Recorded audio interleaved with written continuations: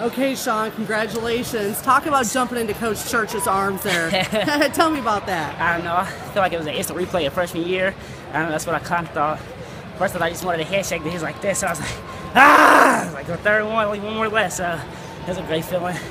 You know, able to do that. you had to face a guy who's won a title before. Yeah. Uh, talk a little bit about what you maybe had to do differently in this match, if anything. Uh, differently. I mean, I don't know. I guess I just had to get a game plan. I really don't have game plans like when I go out to wrestle, but me and my coach just picked a game plan, and it was just to go out there, strike fast, and strike early.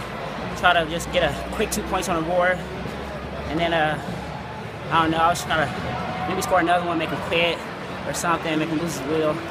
So that's why I went out there and did it.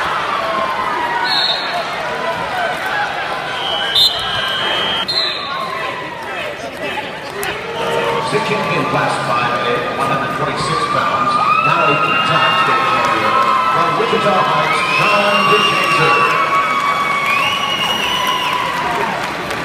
As the champion